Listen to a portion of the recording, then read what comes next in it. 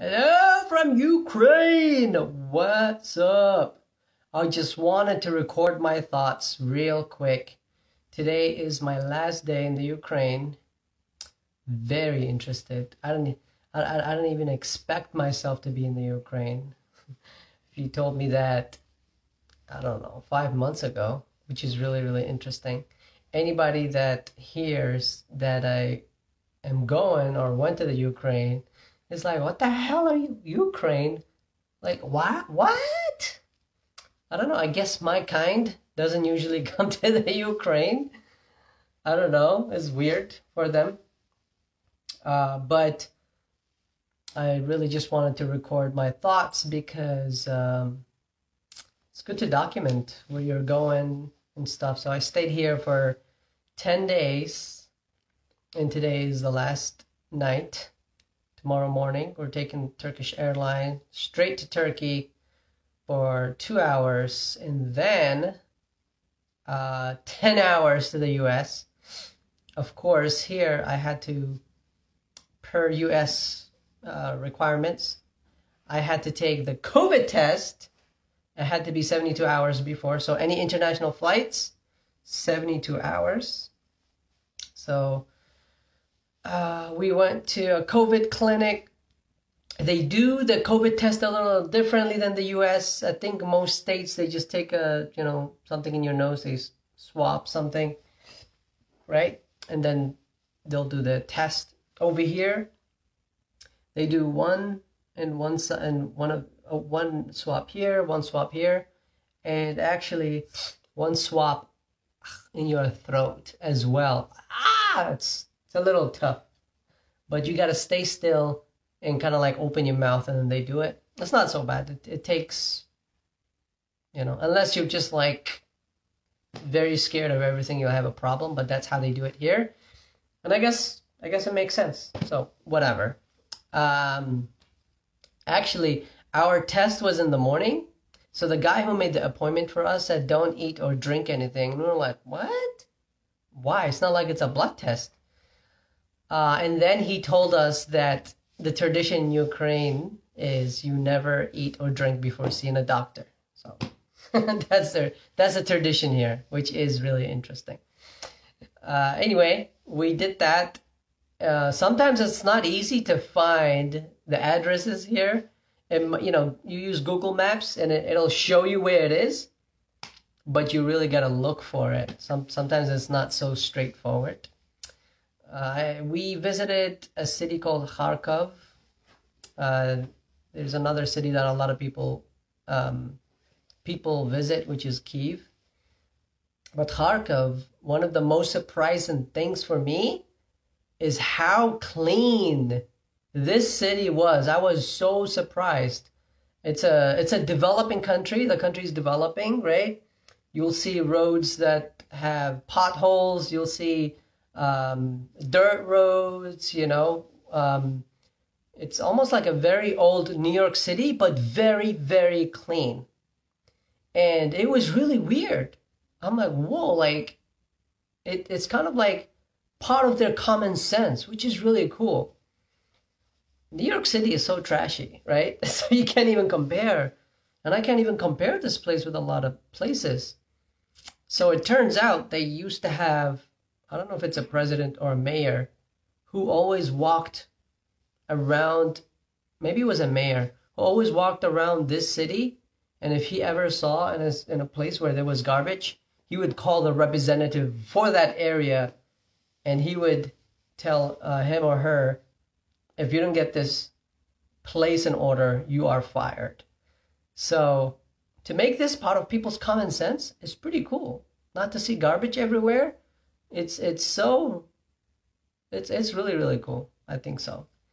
Another thing I realized here is it is very safe, which is you know, given that I was raised in New York and I moved to North Carolina, you don't really see that. You don't see that. So um kids, I see kids taking public transportation and walking alone late hours and um, I think there was at one point where we saw we saw this girl who is probably nine or ten, and she heard us speak in English, and, and she speaks very little English.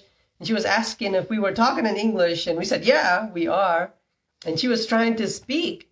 Then we asked her, "Where's your mom?" And she basically said, "Oh, her mom is like jogging somewhere. She's just, she kind of just left her here to play." Have you ever seen that in the US? Yo, parents, when they take their kids to the park, they're so fixated on their kids. And this was a busy park, which is really, really cool. Another thing I noticed about kids, yo, kids here are really, really, really interesting. It's like, um, how do I explain it? They, they definitely seem less spoiled. That's for sure they seem less spoiled and uh, much better outspoken, I guess. Like fast spoken. You know what I mean? Like it's like they're they're they're they're more mature. They're definitely more mature from what I from what I see and sense when we were like talking to the kids. Um, their motor skills really quick too. I don't know, just kind of like small things I we we noticed uh, as we walked here. Um, not a lot of people speak English here, so I had to use a lot of Google Translate. But really nice people, man. Overall, Ukrainian people are really beautiful, nice people. Very peaceful. Everybody's doing their thing, and we definitely had no problems. Uh, one thing that's really cool, we visited a mosque, right? A mosque is a, a Muslim church, right? And we were talking to some people there, and they said you know, Islam Islamophobia is not. It's like really doesn't really exist in this part of town, which really surprised me, and it's really really cool, right? Really really cool that you know those judgments are are not around, and people are open minded and receptive and non judgmental, which is really cool to hear. Made me feel safe to walk around. right? It's like I felt safer in Ukraine than the U.S. It's crazy, right? Uh, but people are really nice um, here. Uh, what else? If you ever visit Ukraine, definitely learn some phrases. I heard 99% of people, at least in the city I'm in, speak Russian. So if you know some Russian phrases, you might make it easily here, which is really cool. Uh, weather, it's in the 40s and they like it. They don't, I don't think they like the heat here. Balanced weather. I heard it gets really good in the summer, but it probably doesn't get humid or anything here. Um, food. Obviously, the cost of living here is probably 30 to 40% less than the US, obviously. But when I like checked with pricing, sometimes I'm like really surprised how people afford. Hey, Jennifer!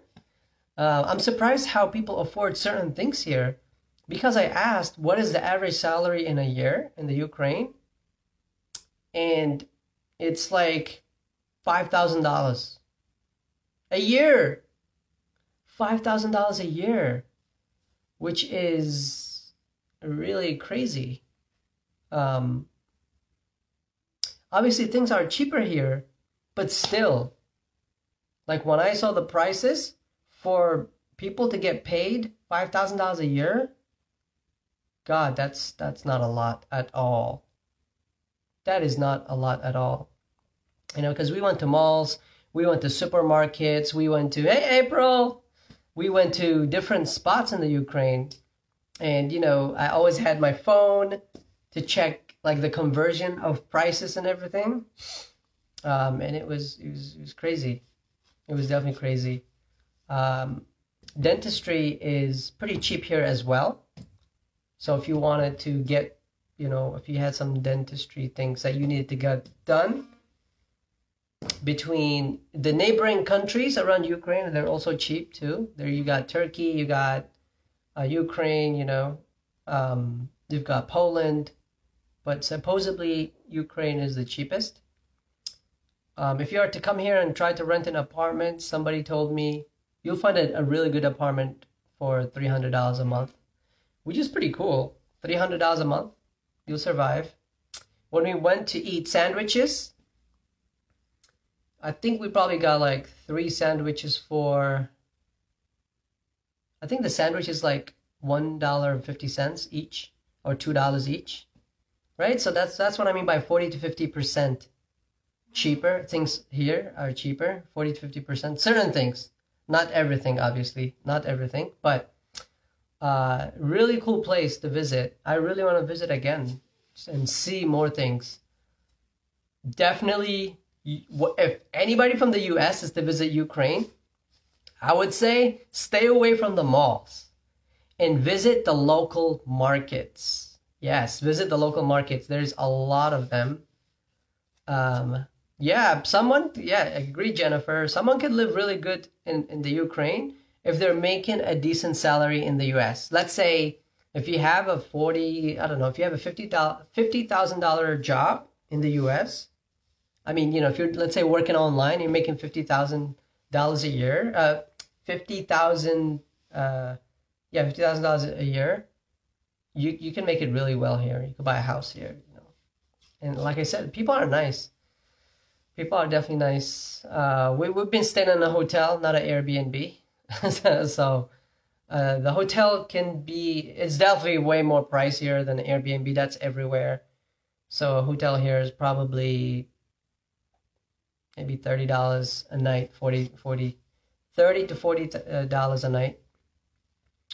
Um, but if you get an Airbnb or an apartment for a month, that's like 300 bucks a month, right? Two, 200, 300. Uh, you can also get somebody to take you around for let's say 10 bucks an hour, which is not bad. If you get to know some local people, you know what I mean, then that's that's my plan for next time. Cuz I know I will be back to the Ukraine in the future, right? Cuz my brother and his partner, their suppliers here. So I'm hoping this happens again. I want to learn more Russian phrases. That's one. And two, I want to make Ukrainian friends so by the time I come here, I can come to meet friends, which is really cool. It'll be really cool. Um, I want to listen to my dad's advice because he said, build a house in every town. And that's what he means. Make a friend in every town because it makes the world even smaller, you know? So when they visit you, you visit them. It's, it's a much better experience when you go somewhere and you know someone right? I wish I knew someone in the Ukraine because um, I didn't know whether I'm getting charged right or not, even though it really felt fair, right? It felt really fair in terms of pricing because some things were already labeled and we went to local markets, right? We went to local markets. You can bargain here. If you wanted to bargain, you can bargain, right? In the US, you got a set price, good luck bargaining. But you can actually uh, you can bargain here, which is cool. Uh, what else? There's there's a lot of pretty places here, a lot of pretty places. So, you know, you can stay here or go to uh, Kiev. Kiev is the capital, but I heard Kiev is it's kind of like the city. The city's always like you know shady and there's too much going on. Uh, so I'm looking forward to it, and it made me realize we gotta visit countries that people don't usually visit like everybody visits Italy, everybody goes to Germany, to Paris. It's time to go see countries that not a lot of people usually visit. You know, I bet they're just really gorgeous. Like uh, we met somebody today, and uh, he was telling us about Georgia, not not not the state, the country Georgia, and he was showing us pictures, and he said you can have an apartment there for like a hundred dollars a month or something like that. Uh, it has such pretty sights. So, and they speak English, so I'm happy about that. So I really want to go there. You you can go on vacation. You can go on really really cool vacations where you don't have to spend a lot of money. You just don't need to go to countries that will charge you a lot, like Paris or Italy or whatever. So, um, just to kind of explore other people's cultures and all of that, and just to see how everybody else live, man. Because, you know, most of my friends, most of my circle are from the US. And think about it in the internet, they know your location. And because they know your location, they give you things that belong to our society in the US advertisement videos or whatever. So when I came here, then because of my location change, the internet is showing me things from here. What I'm trying to say is because we are there, we're only surrounded by things that we know. So when you get out of that, you get to see what what the rest of the world looks like. Because we don't we don't do it actively, unfortunately. We rely on what we see on videos, but you got to come and see for yourself these different countries, you know? They're really really beautiful. You got to meet the people. Don't let the news help you meet the people. Do your own research, visit, and you meet the people. All right. Good night. It's like 11 p.m. here. So, uh, so happy that I visited. So happy that I learned. I'm looking forward to seeing my family to go back home. Good night.